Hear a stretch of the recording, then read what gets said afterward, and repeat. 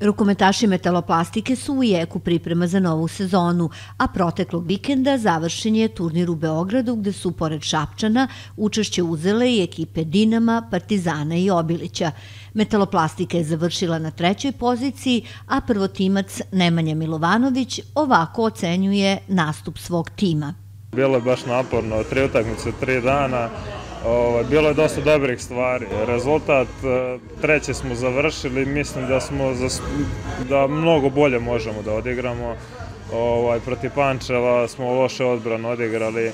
Protiv Partizana kad je bilo nerešeno, bilo je do, dosta bolje nego protiv Pančeva, ali dosta opet nekih tehničkih grešaka u ključnom trenutku.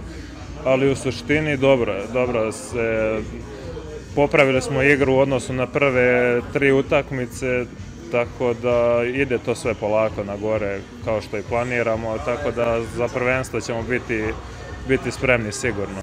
Već sutra Šapčani nastavljaju seriju prijateljskih mečeva, ali ovoga puta kao učesnici memorialnog turnira Nikola Jevremović gužva u Valjevu, gde će učešće uzeti Crvena zvezda, Partizan i domaći metalac. Sutra krećemo za Valjevo, još jedan turnir. Ovo, očekuje nas opet utakmica, bit će Zvezda, Partizan i Metalac. Biće sigurno teško, ima dosta rovitih igrača, ali polako se vraćaju svi polako, tako da bit će to sve super.